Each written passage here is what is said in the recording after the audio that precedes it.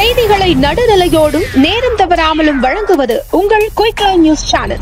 Corona தொற்று அதிகம் உள்ள ராயபுரம் திருவிகா நகர் தண்டையார்பேட்டை உள்ளிட்ட பகுதிகளில் தொடர்ந்து கிருமி நாசினி தெளிக்கப்பட்டு வருகிறது என சென்னை மாநகராட்சி ஆணையர் பிரகாஷ் தெரிவித்துள்ளார்.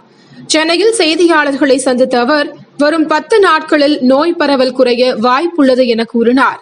மக்கள் அதிகம் வசிக்கும் பகுதிகளான ராயபுரம் திருவிக்க நகர் உள்ளிட்ட பகுதிகளில்தான் நோயின் தாக்கம் அதிகம் இருக்கிறது என்றும் எனவே அந்த பகுதிகளில் தொடர்ந்து கிருமி நாசினி தெளிக்கப்பட்டு வருகிறது எனவும் கூறினார்.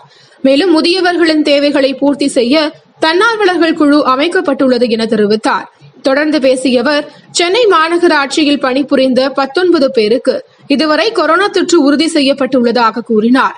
நோய் தொற்றை குறைக்க பல்வேறு நடவடிக்கைகள் எடுக்கப்பட்டுள்ளதால் நிச்சயம் அடுத்து வரக்கூடிய பத்து நாட்களில் சென்னையில் கொரோனாவின் தாக்கம் குறையும் என மாநகராட்சி ஆணையர் பிரகாஷ் நம்பிக்கை தெரிவித்துள்ளார். மேலும் பல செய்திகளை துரிதமாக அறிந்து கொள்ள W W W dot quickline news dot in என்ற இணையதளத்தில் தவறாமல் இணைந்திருங்கள்.